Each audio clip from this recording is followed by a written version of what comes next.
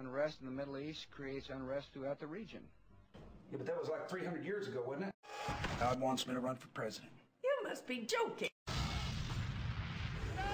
If this were a dictatorship, it'd be a heck of a lot easier.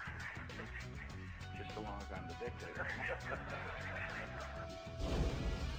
Yeah, damn one. Ruined Bush name. What do you think you are? A Kennedy?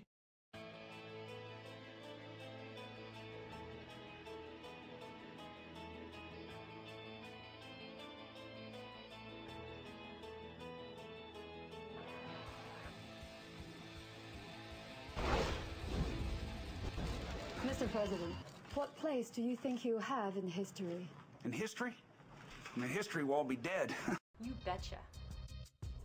I explained my strategy to him.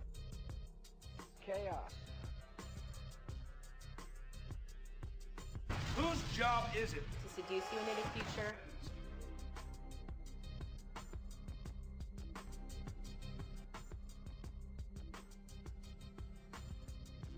What to do that I haven't already done? That's what it means to be president.